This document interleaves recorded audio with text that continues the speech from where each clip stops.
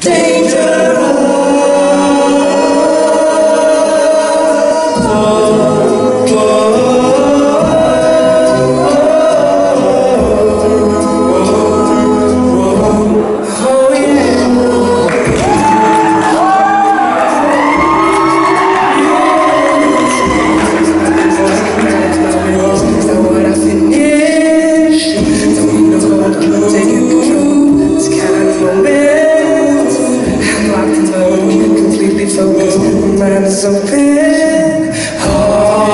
down.